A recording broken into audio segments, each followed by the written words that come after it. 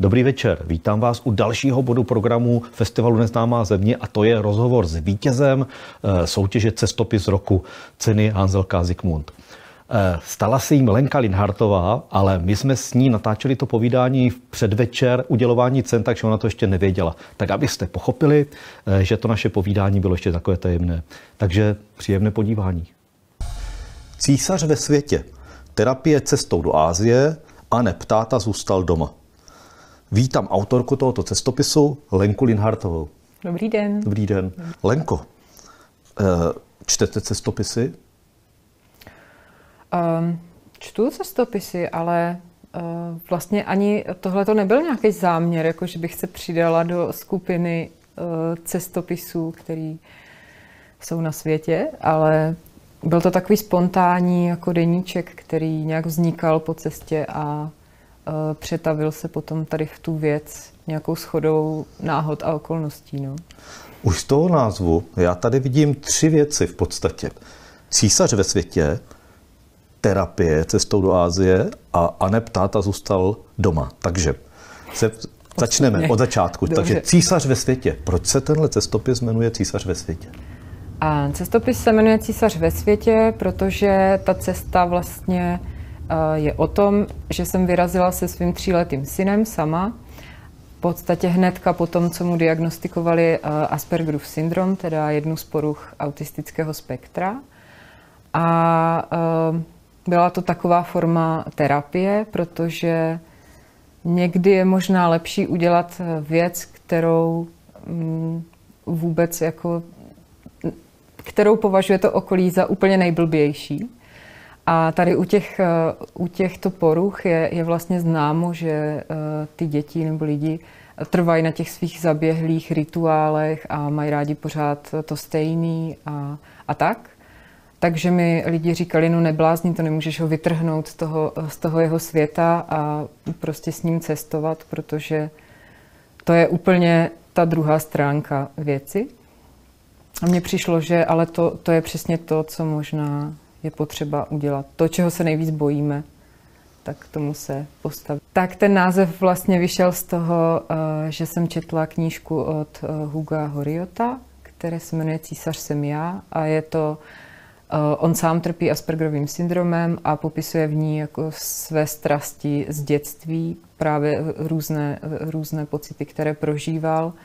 A já když jsem to četla, tak jsem v tom tak strašně viděla toho svého Krištofa, který má taky ty, ty císařské maníry, že prostě velitel všeho. Tak eh, to byla jako jasná volba. A byl to pracovní název původně, ale už to nějak zůstalo. Tak a teď třetí, ta položka, a ne ptáta zůstal doma.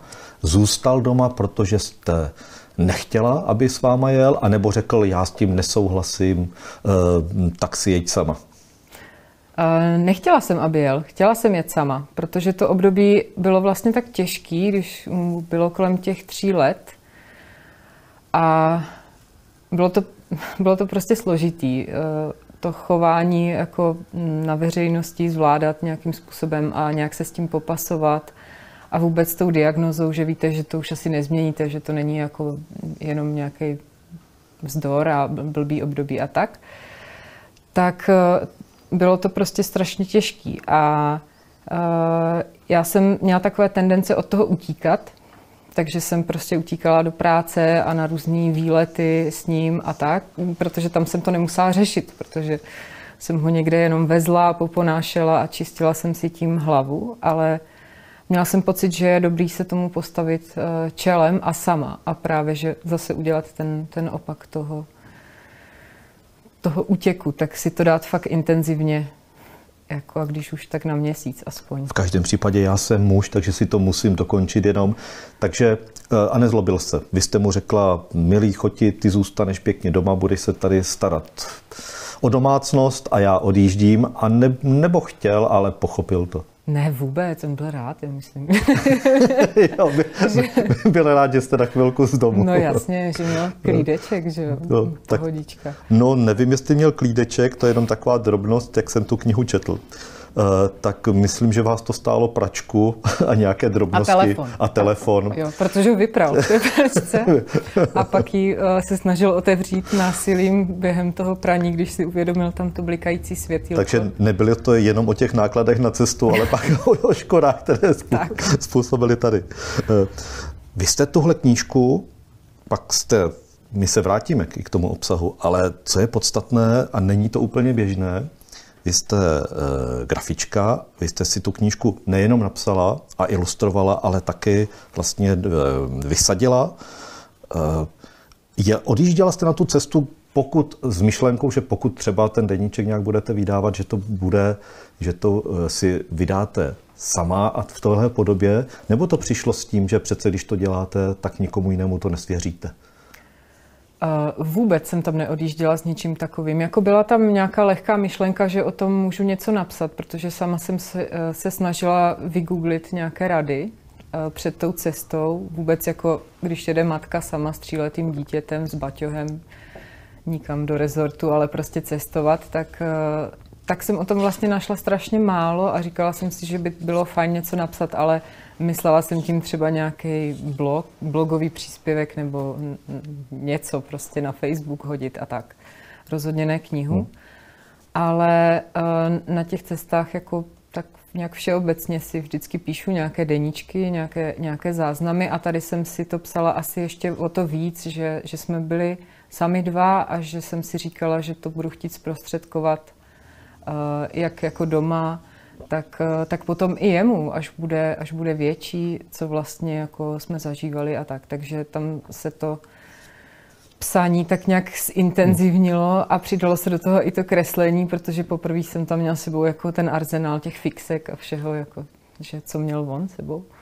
Tak eh, to tak přicházelo nějak přirozeně. No. A to, že z toho vznikla ta knížka, tak to vlastně byla fakt schoda okolností, tím, že všichni se mě pořád na tu cestu ptali, když jsem se vrátila, že mi to přišlo divné, že, že jsem to hmm. udělala, že, že vlastně s tady tím klukem, který úplně nejvíc má rád být doma, anebo sedět na autobusové zastávce a, a sledovat prostě, jak, jak projíždí hmm. autobusy a, a poslouchat jejich motory a nebo být na Palmovce a sledovat, jak se nabíjí elektrobus, tak tak prostě eh, proč jsem tohle to udělala a pořád se mě na to někdo ptal, až jsem si říkala, tak možná bych to mohla nějak jako dát dohromady, no. A tak to, tak to nějak vzniklo a potom mě napadlo, že bych třeba to mohla nějak jako vydat.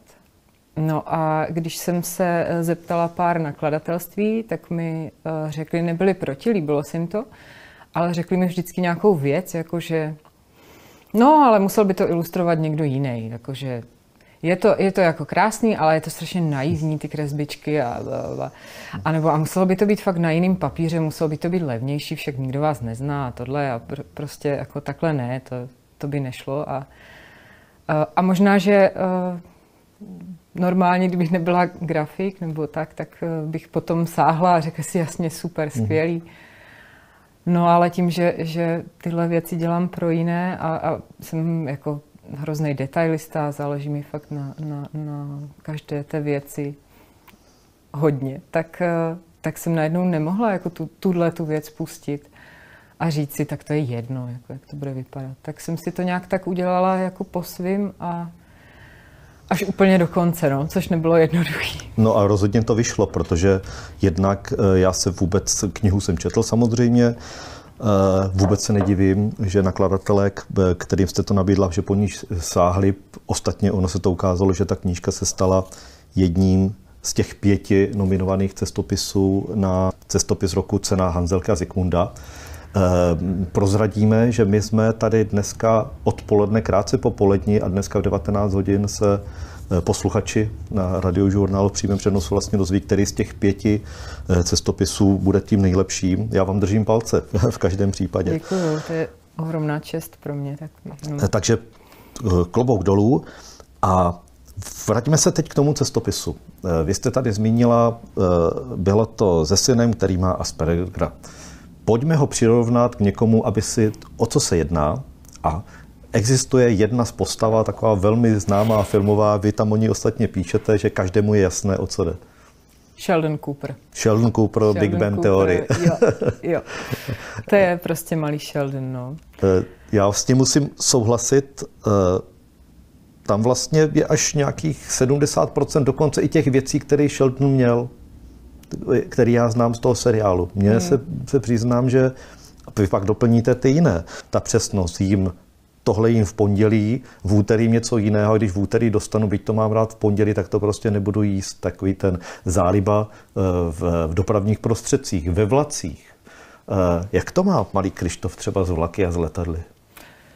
No to je až jako obsese, bych řekla, tam není nic, co by měl uh, radši než, než dopravu. A tady ten, ten systém, všechno kolem toho, že ty, ty jízdní řády a, a všechny ty motory a do, dopravní prostředky, ať už to jsou vlaky nebo autobusy, letadla, vždycky lodě, když máme zase období lodí. A uh, no takže to je prostě všechno, všechno spjatý a on je, je tím úplně pohlcený a uh, nechápe, proč jako to třeba nezajímá ten zbytek světa. že proč mě to nezajímá, že proč, proč nerozeznám prostě po zvuku nějaký autobus a proč nemůžeme dělat to a to, prostě projet nějakou linku a tak. A chci jít někam do blbého parku nebo něco takového. Jde trošku v šlép jejich Sheldona Coopera, třeba, že už se pomalu chystá na doktorát z, z železniční dopravě. Protože tam je důležité to, že on patří přesně do té kategorie těch nadprůměrně inteligentních, žijících si ve svém světě asi. To ano, no. Ale i jako nevím, protože určitě tu inteligenci má vyšší, než by měl mít, ale zase jak je vyhraněný strašně na ty, na ty svoje zájmy, tak eh, opomíjí to, co by třeba v tom svém věku jako měl dělat normálně. Že? Takže teďka vys prostě zavřené školky a prostě pracovní listy, které paní učitelky posílali, tak to byla úplná tragédie, že, že jsme nad tím seděli půlku dne a prostě on mi říkal, já nevím, proč bych tady měl vybarvovat ovečku, taková blbost, prostě já si chci nakreslit zlínský elektrobus a té trojku a e, mě, jsem se tak rozčílil, až mi ze zelena žíly a prostě paní učitelce tohle všechno řeknu, takový zbytečnosti a já jí vyrobím pracovní listy, aby viděla. No, takže takhle se půl dne rozčiluje a prostě tu ovečku stejně nakonec nevybarví, tak mm, těžko říct, jak to tam ta škola a ten systém, jakoby... Já si myslím, že to bude super, až bude dospělej a bude si moct dělat fakt, co chce. A že, že mm, tam se to jako ukáže a, a že, že dosáhne svých cílů a a nenechá si do toho mluvit, to si myslím, že je jako důležitý, protože to fakt nenechá. Ale, uh, no, ale teďka, když musí plnit nějaké ty úkoly a ještě asi pár let bude muset, tak to možná bude těžký, no, bude narážet na takové ty běžné překážky. Ale vraťme se zase k seriálu Teorie velkého třesku. Eh, pokud vím, Sheldon se nejenom oženil, ale taky získal Nobelovu cenu, takže držím, pa- držím palce, ty vyhlídky vůbec nejsou špatné. Ale zpátky k té cestě. Takže přes tu dopravu se dostaneme taky eh, Krištof eh, má rád. Takže to byl, řekl bych, jeden aspekt, kdy už jste věděla, že dostat se na, z místa A, tedy z domova do místa B ve světě, eh, se mu může líbit, protože tam doprava, mm-hmm. ale vy jste si vybrala Tajsko. Proč Tajsko? No to vůbec není nějak blízko. No, to není blízko. No, Vlastně měla jsem pocit, že když jsem tam trávila nějaký čas v jeho východní Asii, že ty lidi přijímají děti úplně jiným způsobem než u nás a zvlášť jako nějakým způsobem problematické děti, že když eh, tady řešíte něco, nějaký problém nebo nějaké jako věci spojené s, s úzkostma a, a tak, když to řešíte v tramvaji nebo v kavárně, tak se je to velký problém pro okolí a dávají vám najevo, že tam vůbec nemáte být a že to nemáte jako právo a, a tak. Kdežto tam jsem měla pocit, že uh, nic takového neexistuje, že vás prostě přijmou s otevřenou náručí, jaký jste a že ty vaše děti patří do jejich rodiny úplně automaticky a uh, celé je to takové jako snažší. No. A i ty děti samotné, že jsou takové jako otevřenější a, a, a srdečnější a že ho možná přijmou a, líp než, než tady u nás. A že, že třeba intuitivně na to jako nějak přijdeme, protože to bylo období, kdy, kdy on se s dětma vůbec jako nekamarádil. No.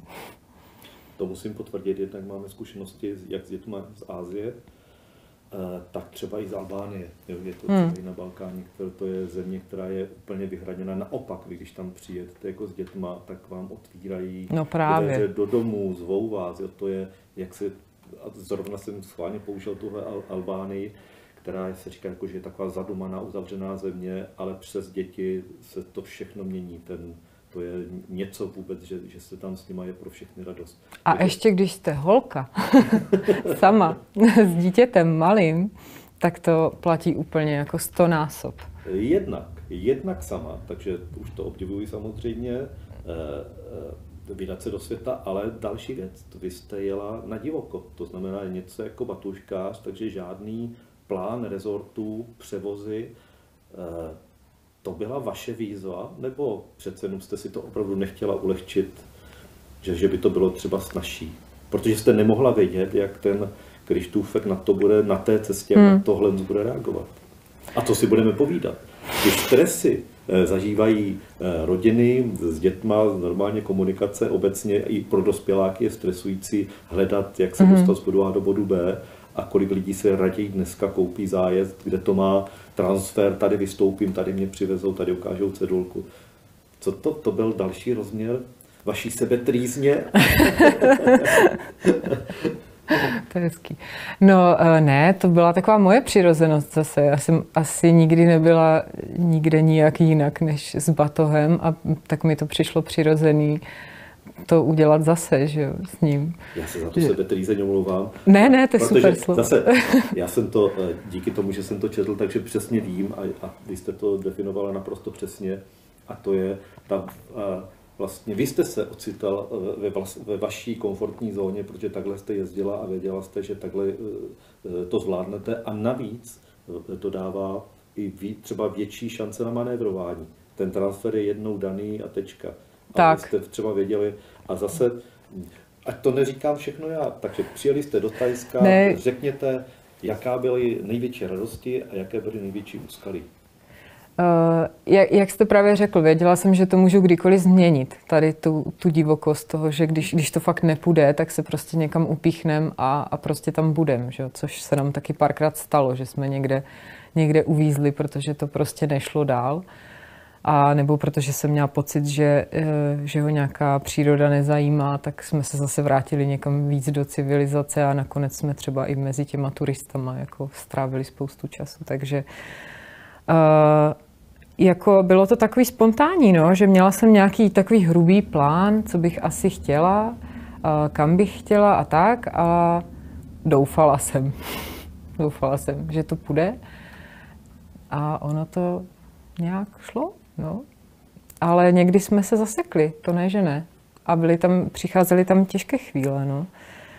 Ale uh, stály za to, protože člověk si pak uvědomil, um, co, co je vlastně ten problém a v čem to jako vězí a uh, nakonec zjistil, že to má třeba sám v sobě. Tam popisujete třeba jednu scénku, ať neprozradíme celý obsah, ale je tam třeba jedna z těch scén, o které jsem přemýšlel. Jinak knížka je jednodechovka, jo, já jsem ji přečetl v jednom tahu. Ona, a protože, ne, ne, že by nebyla obsáhla, ale, ale tak navazuje a je tak čtivá, že si myslím, že každý čtenář, který vezme, že nejde rozečíst a nedočíst. Eh, přesně ten moment, kdy jste byli u, na krásném místě, jemu se tam líbilo, byli jste u bazénu, on si hrál, najednou v jednom momentu se zvedl a zmizel a už se tam nechtěl vrátit. Jo. A jak je těžké rozklíčovat vůbec, a vůbec podařilo se vám rozklíčovat, jako co bylo tím spouštěčem, startérem? Jako je, nebo tohle jsou běžné věci najednou, to může být třeba zastřehotá pták, nebo něco se odehraje? No, uh, rozklíčovat asi úplně ne, jakoby co, co bylo tím konkrétním uh, spouštěčem v téhle konkrétní situaci, ale asi se mi podařilo přijít na to, že uh, se to zkrátka hromadí, že už toho na něj bylo asi moc těch změn a těch nových situací a všeho a že to, um, že to mají tendence jako zametat uh, někam pod koberec a pak to prostě bouchne a pak může přijít jakákoliv maličkost a může zaskřehotat ten pták a je, a je konec. Že? A pak vůbec nevíte, co s tím dál, protože se úplně zasekne a, a je to. No. Takže nevím, co, co je vždycky tím konkrétním spouštěčem, ale děje se to občas jako i teď. Míň, teda, na co můžu zaklepat. ale jo, ale uh, jako jsou, jsou situace, které se opakují, no, že, že máte pocit, že už něco jako zvládá, zvládá, zvládá, je to v pohodě a pak přijde prostě boom uprostřed noci něco a, a je konec. A prostě víte, že, že tohle jen tak nezvládnete a že se tam zase projevila nějaká jako úzkost nebo něco takového, co, co bude problém, no, tak, tak to se stalo i tady.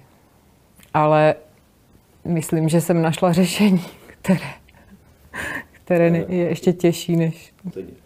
Za co vám chci poděkovat? Tak v té knize je kapitola o hovně. Eh, já tady připomenu, eh, my jsme s kolegou Horkým eh, napsali, když jsme psali knihu o Kubě, tak jsme tam měli jednu kapitolu o průjmech na cestách a tehdejší editor řekl, tahle kapitola tam nemůže být. Já jsem vás prohlásil, projmy tam budou, nebo odcházíme k jinému nakladateli. Ale že jste ani nepoužila kapitola o hovínku. O čem je? Aby jsme navnadili čtenáře.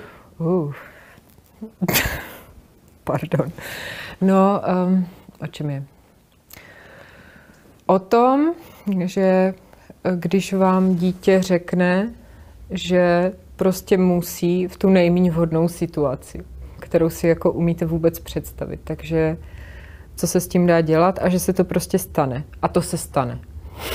jako, a, no a já to asi nechci prozrazovat, ale já to rozumím, pojita je výborná, v každém případě opravdu se Ale to je výhoda toho, že si to vydáváte sám. Tak a jestli, jestli se dívají rodiče, tak jako doporučuji, že myslím si, že každý si vzpomenul eh, na, na jednu eh, z nějakých historek. To byla nejsnažší kapitola na, na psaní. Tu jsem asi napsala za, já nevím, 20 minut a nic se na ní neopravovalo. To bylo... To je, to je no. Kolik času jste tam strávili od odletu po návrat? aby vůbec čtenáři měli... Měsíc, měsíc, měsíc čistého času. No. Takže vůbec to nebylo, aby si někdo myslel, že tam byli týden, sedm dnů a vraceli se. Ten měsíc ne, asi ne. nebyl vůbec žádná sranda. Vy jste i voli, volila uh, schválně různá místa. Nebylo to o tom, jak jsme se o tom uh, už bavili, že jste si vybrali jedno místo, jemu by se tam líbilo, což se taky stalo, ale měnila jste ty místa. Jo. Proč to bylo? No, měla jsem pocit, že mu chci ukázat, že svět je krásný, že, že v něm spousta věcí, které uh, se je fajn objevovat a spousta barev a chutí a vůní a tak, tak jak to mám já přirozeně, tady ty touhy, ale on je nemá, že zjevně. On by byl rád na tom jednom místě, ale já mám pořád pocit, že je jako dobrý s, s ním tak tímhle tím způsobem pracovat a a přece jenom mu jako poodhalovat nějaké, nějaké tyhle ty věci, které on odmítá, že možná se tam najde skulinka, kdy, kdy on přijme nějakou i moji cestu nebo něco, něco z toho světa. A e, nakonec to fungovalo, nakonec to fungovalo, jenom ne, nebyl úplně nakloněn, že radši by byl fakt v tom jednom, co, co už zná a tak to bylo takový, takový boj. Vy jste už říkala, že jste si vezli pastelky, eh, fixy a hodně jste malovali. Dokonce v knize je jedna ilustrace od něho. Eh, cítíte v tom, nebo vidíte v tom, že třeba i ten, to jeho nadání se projevuje tady v tom, třeba v tom výtvarném, že má eh, ten cit? V tom technickém spíš. Asi jako kreslí od malička, to jo když ještě, ještě vůbec kreslit neměl, tak už dávno kreslil a tak my jsme oba uh, designéři a výtvarníci, takže asi je to i jako nějakým způsobem přirozené, no, ale... hemisféra je ovlivněna. Asi, no. Takže hrajete na kytaru, na flétnu, eh, manžel na bicí ne, a ne, na já, saxofon. Já hraju na klavír, ale, uh, ale jako jsme, jsme, teda já jsem grafička nebo grafická designérka, manžel je, je taky designer, takže, takže tam máme nějaké takovéhle věci, ale on je, on je spíš technik a já jsem ten takový, nevím, myslitel, možná jakože ráda vymýšlím ty, ty věci. Jo, aha, tak děkuju. Uh, no, uh, ale on spíš asi jde tou manželovou cestou, takže um, kreslí prostě schémata těch lodí, jako různých a tak, kdy, kdy si fakt říkáte, to není možný, že jo půdorys, nárys, bokorys, prostě nějaké tady, nějakého Britanniku. A, a už je tam to vidění 3D. No je, no. A je to, je to fakt přesný, ale prostě pak nenakreslí toho beránka, že jo. Hm. No to ale ne. tomu rozumím. No. Tomu rozumím. To je, to, je, to je přesně jako viděno, proč, proč tohle dělat. Já, já, já se přiznám, některé prvky mě připomínají, jestli taky nejsem trošku eh, trošku mimo zónu, jako v tom vidění nedělat ty věci. No. Myslím, že jsme všichni trochu mimo zónu. A to je dobře. Terapie cestou do Ázie. Byla to terapie jak pro vás, tak pro Krištofa. Zastavme se u toho teď v prvotně, co si myslíte, jak to zafungovalo pro něho. Co si odnesl od té společné cesty?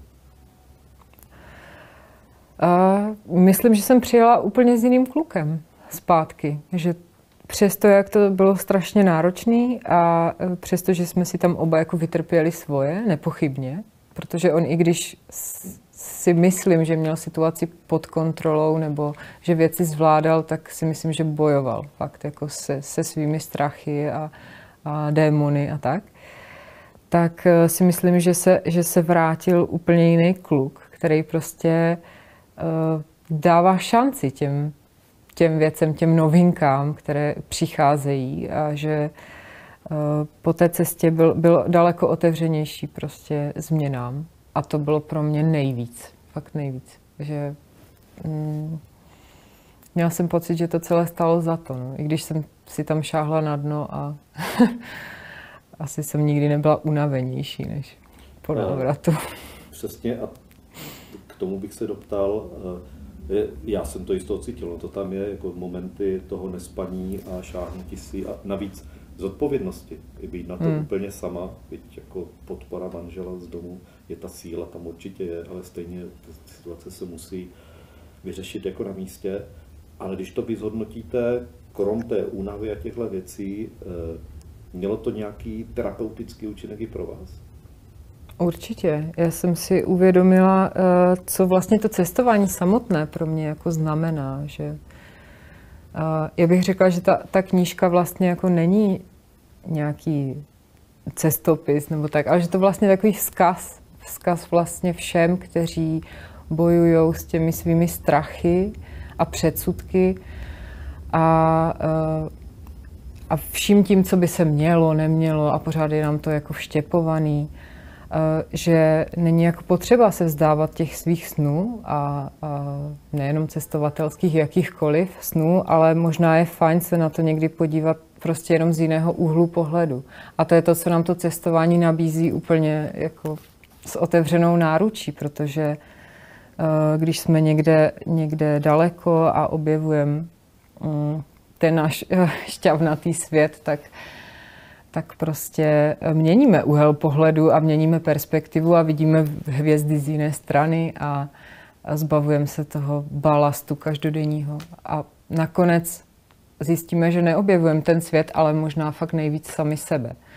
A ne, nechci, aby to vyznělo nějak jako moc ezo, protože jsem vlastně docela cynik, ale, uh, ale je to tak, jakože, že to nakonec fakt fungovalo, že tady ta cesta nám jako fungovala jako lék, lék na, na, ty, na tu situaci a na ty mezilidské vztahy. Že fakt si myslím, že to cestování v tom, že, že vám to změní ten úhel, může být lékem samo o sobě.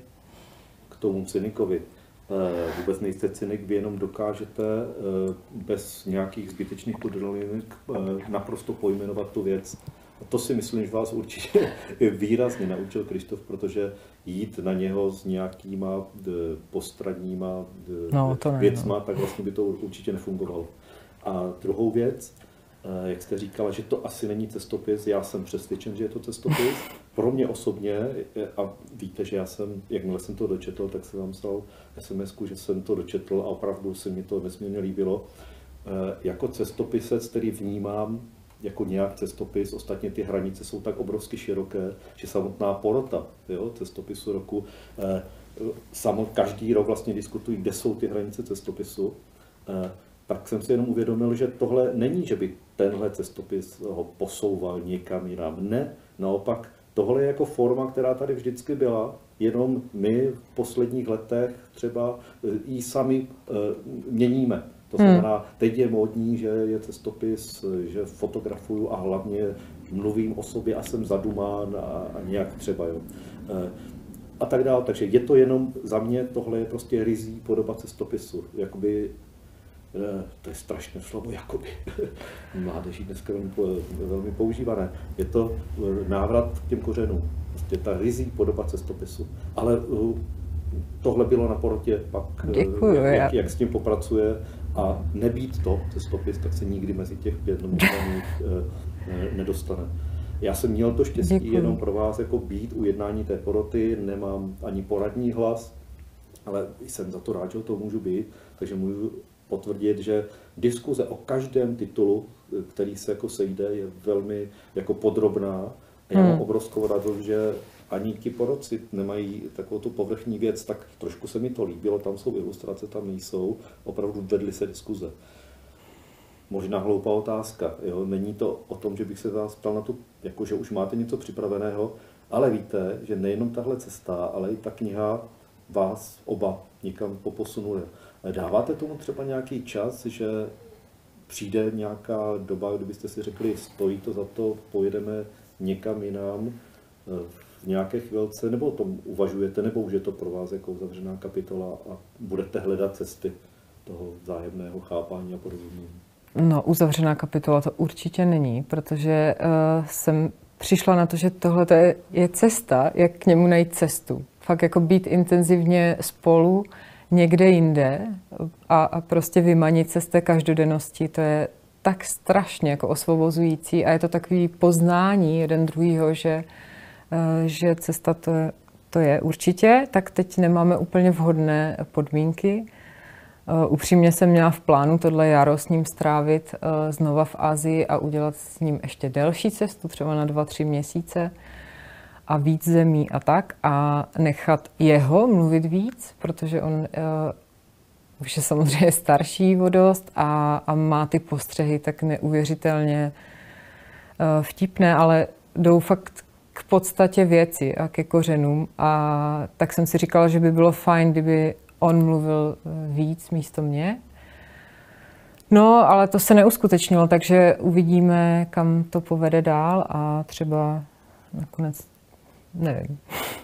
Otevřená věc? Otevřená věc. Třeba strávíme léto někde na Ukrajině spolu a bude to taky fajn a budu cítit, že to je téma, ale nechci to asi dělat jako nějak prvoplánově, jak se mě lidi ptají, že a kdy napíšeš další věc a tak a, a už spolu někam vyražte, ať můžeš zase psát, tak to takhle jako nemám a necítím. Už jsme spolu i byli, jako strávili jsme třeba měsíc v Maroku a tak, ale prostě jsem měla pocit, že uh, to... Všechno zaznamenáno hmm. být nemusí. Všechno zaznamenáno být nemusí, že se tam třeba dějou jako jiné věci vám v hlavě, eh, které, ke kterým se nechcete vracet a, a zkrátka to není úplně ono. No. Ještě jedna věc. Určitě ani tu knihu jste nedělala, nepodnikala proto, abyste byla první, která, která o něčem podobném napsala. Ostatně ten císař, jak jste ho zmiňovala, už něco takového udělal.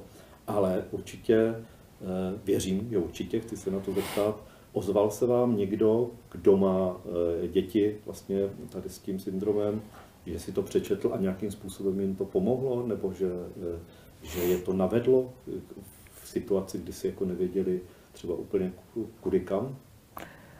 Já vám strašně děkuji za tuhle otázku, protože to je vlastně úplně alfa omega toho všeho, že mě teďka chodí skoro každý den nějaké, nějaké zprávy a, a maily, dokonce dopisy uh, lidí, který mi prostě píšou své vlastní příběhy a zkušenosti a, a je to hodně intimní a uh, já prostě až si někdy říkám, ale já nejsem psycholog, já vám nemůžu poradit nebo tak, ale je to tak strašně dojemný a naplňuje mě to úplně takovým pocitem, že to celý mělo smysl. Když vám napíše tatínek, který vám řekne, já vám tak strašně děkuju, já jsem se tak pobavil, dojal, poplakal a poprvé jsem získal pocit, že, že mám sílu vzít svoji nevědomou dceru do Krkonoš na víkend a hned ten víkend jsem to udělal. Tak to je prostě nejvíc. Fakt mě to úplně... A takových vzkazů je fakt hodně. Takže celá ta cesta jako myslím teďka vydání ty knížky a trvat si na tom svým, mám pocit, že právě proto měla smysl. A byť by byl jeden jediný takový vzkaz, tak to mělo cenu, protože jo, ty, ty lidi prostě mi dávají najevo, že, uh, že jim to pomáhá, nebo jenom v tom pocitu, že v tom nejsou sami a že můžou prostě se taky pustit do nějakých svých překážek a nějaké třeba zbořit. No ta terapie s dílením je vlastně druhý život hmm. jo, toho příběhu. To je pravda. Takže, mohli bychom si povídat dlouho. Uh, dneska večer proběhne uh, to vyhlášení. Už vás nechci unavovat, ať se na to připravíte. Za celý náš štáb, který tady jako natáčí dělá, držíme palce.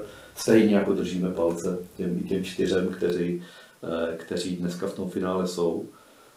A víc si řekneme třeba po tom dnešním večeru. V každém případě já osobně vám za tu knížku děkuji, protože i mě jako cestopisce nesmírně bavilo.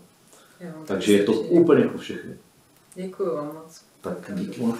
Děkuji.